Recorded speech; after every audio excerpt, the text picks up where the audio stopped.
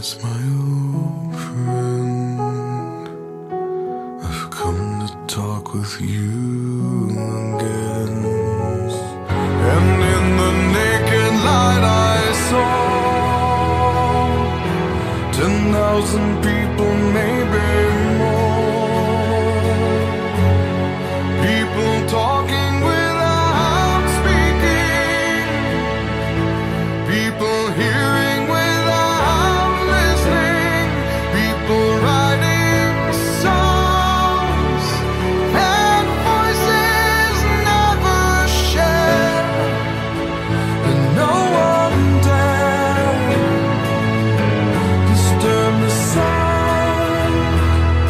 of silence.